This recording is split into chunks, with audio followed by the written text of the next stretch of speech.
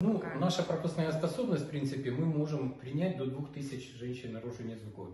Сейчас мы, э, вот за эти два года мы не упали в родах, но мы немножко и не повысились. Но хотя я надеюсь, что с- к нам сюда подтянется генический район, который очень заинтересован, потому что им удобнее ездить к нам, чем к э, в Херсон. Херсон. А там все-таки ни много ни мало, почти 200 беременных сейчас стоит на учете, мы уже выясняли.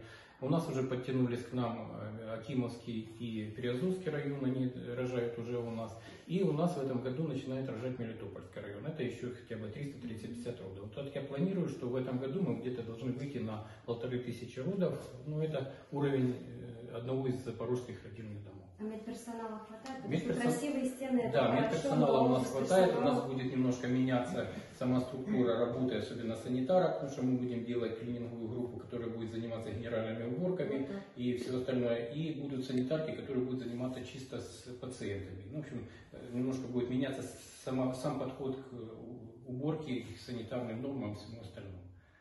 Так что пока у нас хватает сотрудников, слава богу.